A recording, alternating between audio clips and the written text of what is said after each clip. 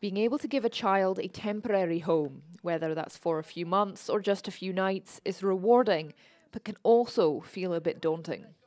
When we first started fostering, I I didn't really know the kind of young people that were going to come in, um, and I was really surprised because they were children.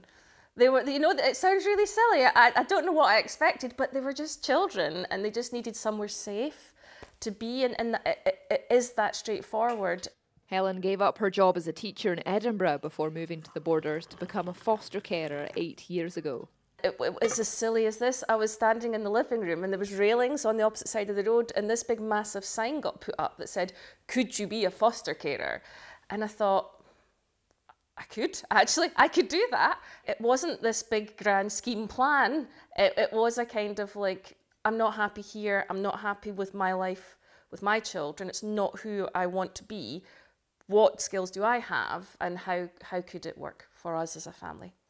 And the council isn't the only one looking to recruit more foster carers.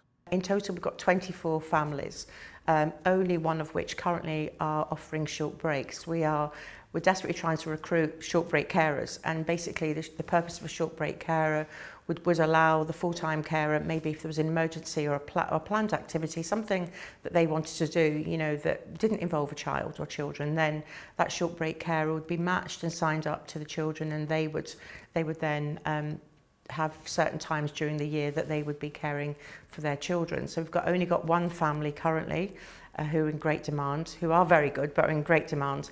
Helen can sometimes get a call out of the blue, but it's important these children have somewhere safe to go.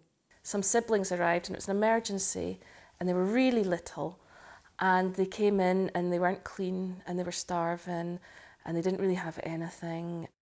The next morning we got up and it was sunny and we went to the garden and they were just heading about like like proper children, just like children and being kids. And it was like, I remember watching it and thinking, this is like a wave of joy that I'm just getting to kind of ride on top of.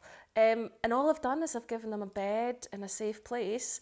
It's, it's not like a special talented gift, um, but they were just hairing up and down and they had a football and the baby, there was a baby and he was sitting in my, my lap and he was laughing and it was, it's just, this, that's another story that for me encapsulates fostering. There is a need for more foster carers in the borders, both long and short term, and they can make a real difference in children's lives. Isla Todd, ITV News.